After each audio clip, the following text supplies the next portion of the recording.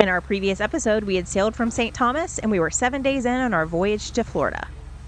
Coming up on this episode, we're slowly dragging our home from the BVI's to Florida. It's like the slow boat to China.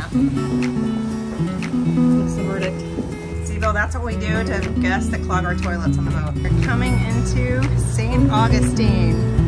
And here we are. The day has finally arrived.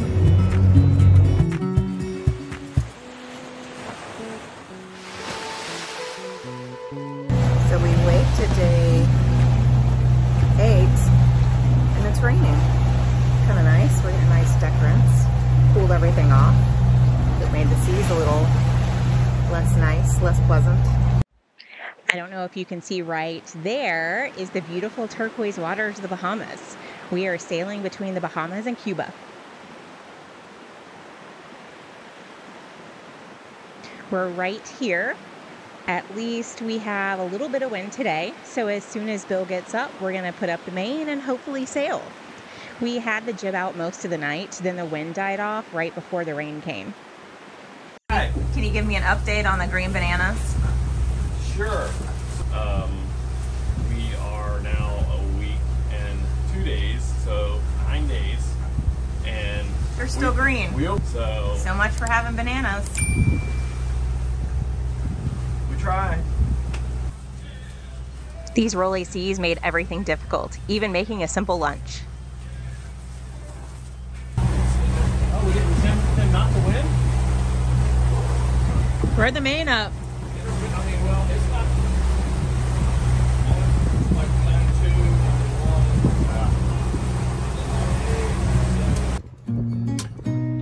Since it seemed like the wind was finally filling in, we decided to get up the main.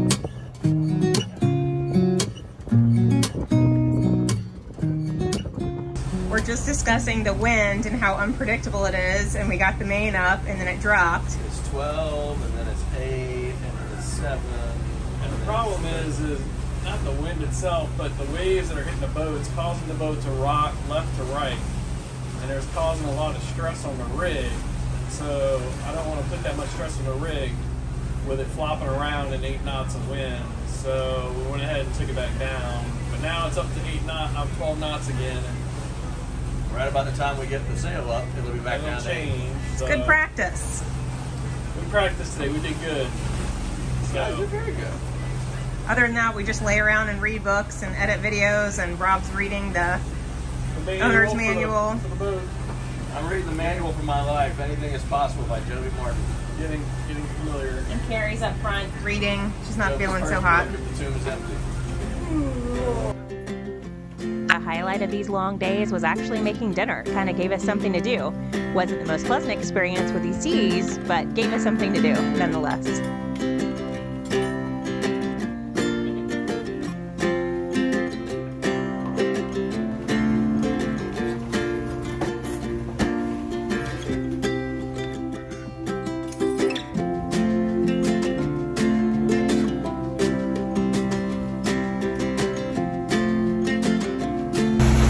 Tonight we have fish tacos that we caught yesterday. So excited to eat this one. All right, day eight, we're having fish tacos. Fish tacos! That we caught last night. Mahi, mahi, mahi. Fresh, fresh. So the boys are being nice tonight. The girls cooked and the guys are cleaning up.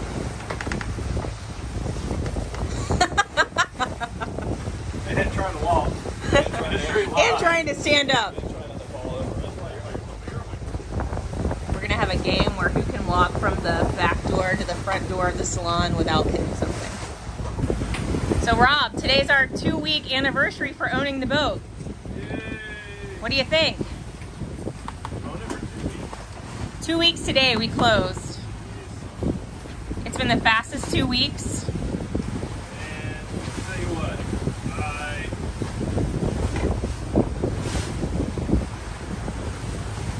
it's a lot different than buying a house, that's for. A lot. A lot different. It's like The hoops we had to jump through.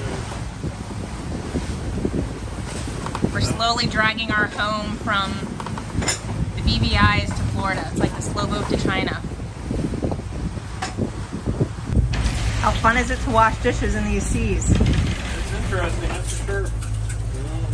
It's like you're playing a bat. I mean, you're balancing a game of like stab yourself with a knife or stand up straight. You know, it's like would you rather stand up straight or st- get stabbed?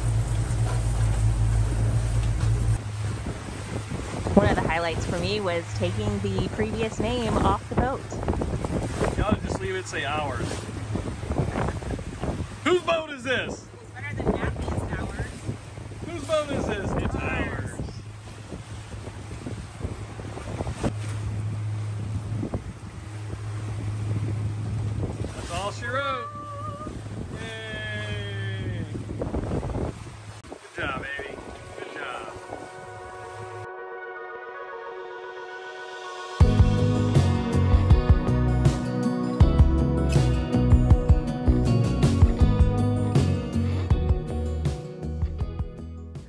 Finally made the turn north towards Florida, leaving Cuba behind. Bahamas to our starboard and Florida ahead.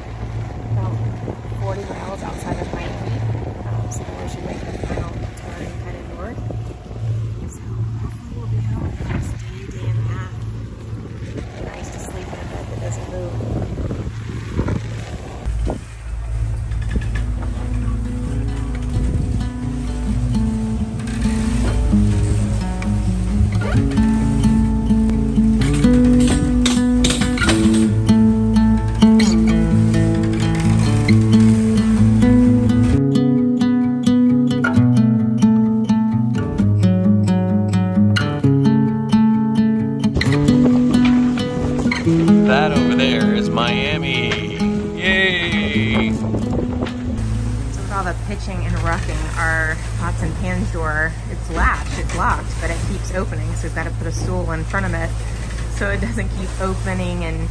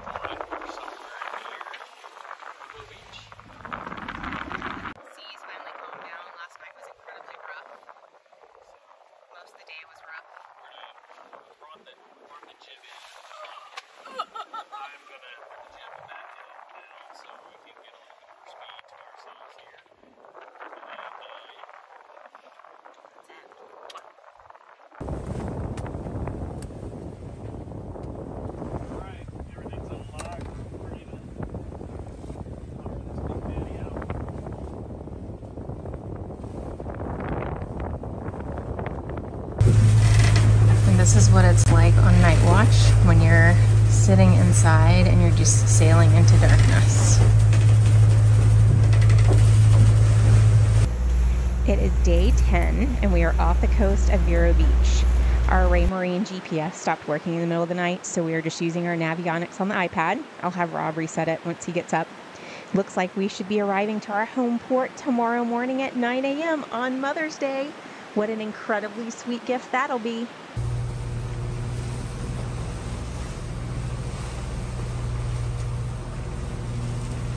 Hopefully bring a smile to Rob's face, I decided I would bake some muffins. And after an hour and 20 minutes in this oven, they were finally cooked.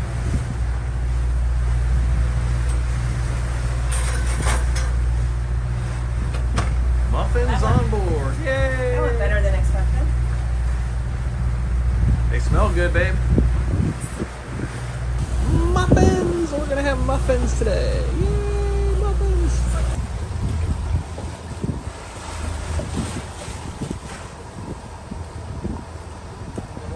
What was that for? Just checking to see if there's anything on our uh, on the the prop. Is there a vibration or? Yeah, it just kind of felt, felt a little weird. So. Um, there's a lot of sargassum in the water, um, so I wanted to make sure that we're not getting something on there and throwing some bearings or something. What's the verdict? Looks like it's still on here, actually.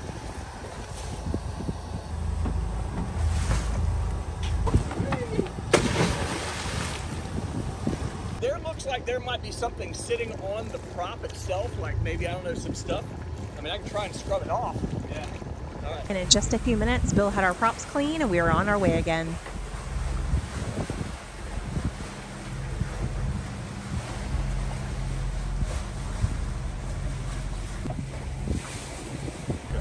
All right, what's your favorite part of the trip, Ben? Favorite part of the trip, young lady? Um, I think just the whole experience of being on a boat like this. I've never been on a boat like this, and obviously never sailed for this long or even a day. So this whole thing. My favorite part being unplugged and away from everything, Yeah, and out in the middle of nowhere, um, and with my beautiful wife. What was your least favorite? Getting sick. Yeah, for her, probably also for me because I didn't like seeing her sick when she's not feeling good. But then also missing my my family, my two boys, and my dog. Yeah. You know, the little creature comforts that you take for granted, the things that you have no idea and you forget. And it's been a long time since you've been on a sailboat, and then you're out in the middle of nowhere, and you're like, oh, forgot about that. yeah. But we all survived. So Yeah, we did. We survived. Cheers. Cheers. Cheers. What was your best part about this trip? Best part about the trip was that the three times we docked the boat pretty much went off without a hitch. And I know we can pick up a mooring ball, so I'm good there. I know we can anchor, we're good there. So just the the docking was uh, questionable, but after pulling it off over at Turks and Caicos and um, picking you guys up, that's probably you know the best training I had. And but the best part of the trip, I mean, basically, you know, is hanging out and talking to everybody. I mean, that's what I do for a living, and that's I enjoy it. So it's kind of fun to learn about other people. I think for me, leaving St. Thomas when we, because it was so hurried that morning when we left. I Oh think, my gosh! I, I don't think I really thought about, oh my God, we're getting ready to get on this boat for the next 10 days and we're not going to get off. Like, I haven't put on shoes in 10 days. I don't think I, I think had, had I been in my mind and thought about that, I think I would have been hugely scared. But I think because it all went down so fast and then we tried to get to Puerto Rico to meet you guys, it didn't give me time to get scared and get nervous. And then once we got y'all got on board and we said, let's do the first overnight and we're just gonna go, like I didn't have time to get anxious and worried. Like we just kind of jumped right in. So Off we went. I think, you know, baptism by fire is a good, I don't think it's for everybody, but I think it really helped. The fire's not over yet. We still need to go find dockage for the boat. So Yeah. That'll So what's the worst part week. is Yeah. now we have the boat and she's going to be in St. Augustine, but we don't know where she's going to go because none of the marinas want us. They don't want long term. They only want transient because they get more money for it. So at least until probably the end of May when all the cruisers have left the hurricane zone and they're back up north. Uh, so that's probably the worst. The worst part. And Rob, what about for you? What would be the worst part? That's the worst part. Is I mean, well, I'll say the worst part is um, developing the vibration in the sail drive over here because you know we should I should have paid attention to it a lot better. Um, but you know we didn't have a chance to we didn't have a chance to take the boat out before we really closed on it uh, because they were still working on the boat. Since our survey. Huh? Since our the survey. So you know we didn't didn't have a chance to like you know run it through its paces before we did this long passage, and um, you know But overall, we've had minimal breakage, and I think, I mean, the weather's, we've had a couple of rough days with some 10 foot waves, but those eased up. And like tonight, our last night, it's flat and it's nice. And yeah. so, I mean, we'll get in tomorrow and figure things out. I suppose you know. it's just a whole way of, it's just a whole new way of life that we have to learn. All right. All Thanks right. for coming with us, guys. Thank you very much for having us. It's been awesome. the experience of a lifetime. All right. So it is day 10. It's my last night watch. So tomorrow morning, hopefully we should be coming into St. Augustine around 10 o'clock. So excited. It's been, I don't know, it seems like forever, but then it kind of seems like it's went by super, super quick. Um, so right now, we've got three whole knots of wind. So uh, Bill and I just put the the boat to bed. Um, we furled in all the sails. Carrie's downstairs. She's not feeling so good. She's sick. Rob is exhausted. So um, he's going to do 3 to 6. I'm going to do 9 to 12. And Bill's to do 12 to 3. So hopefully it's a great sea state. It's nice and calm. So hopefully I should get a lot of reading done. And this should be a quick three hour night watch for the last time. My Mother's Day card. so funny. So it's Mother's Day, our last day. We are just off the coast of Palm Coast, about, um, I don't know, 50 miles from St. Augustine. And we've had the holding tanks open because we've been out at sea, but we noticed one of the toilets wasn't draining. So Bill is down in the water trying to unclog one of the holding tanks on Mother's Day. We're Going underneath to try and open a stuck valve. For the poo tank. Bill, what tool did he just give you? Let's see that. Nice. Never plunged in the ocean before. Oh, the joys of friendship and owning a boat. Not even my boat. I'm willing to take one for the team at 7 a.m. on the North Atlantic. All right.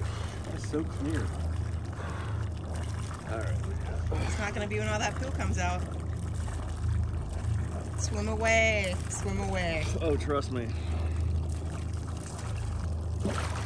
I saw like a tiny little something that like I pulled a little something back and of course it went straight by. But nothing glaringly obvious.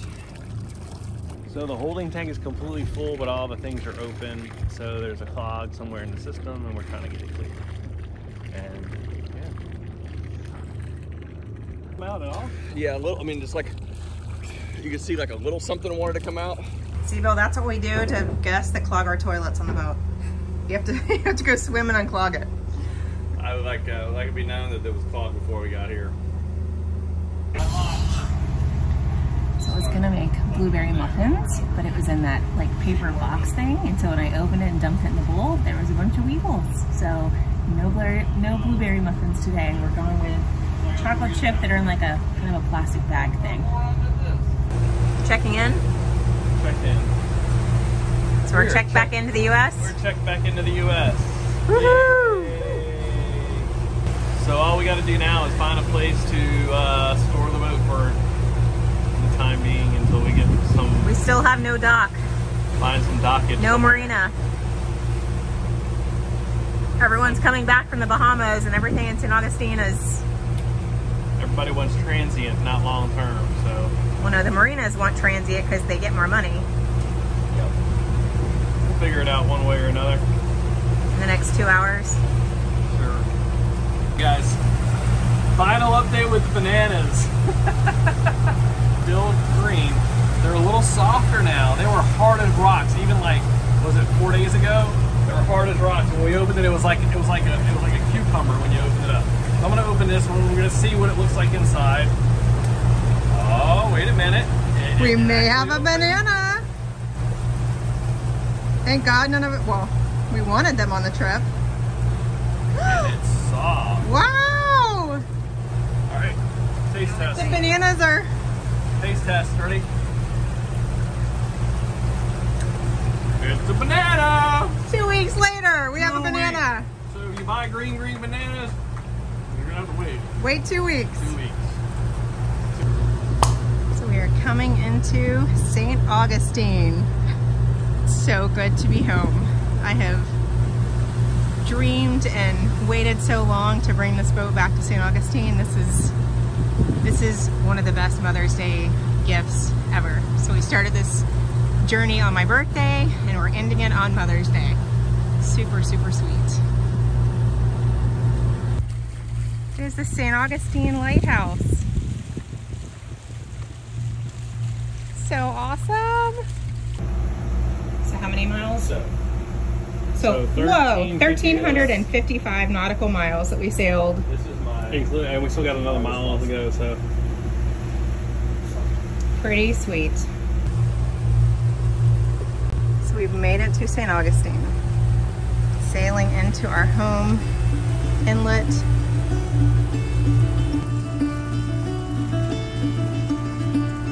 you're bringing you you're bringing your boat home.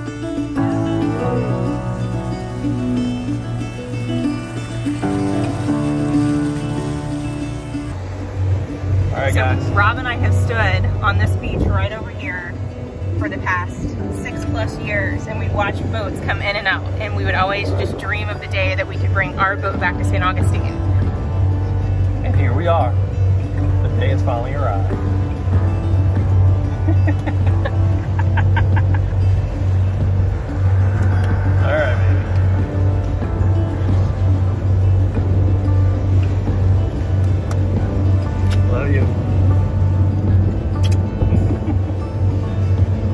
doing a great job, guys. Just bringing her in.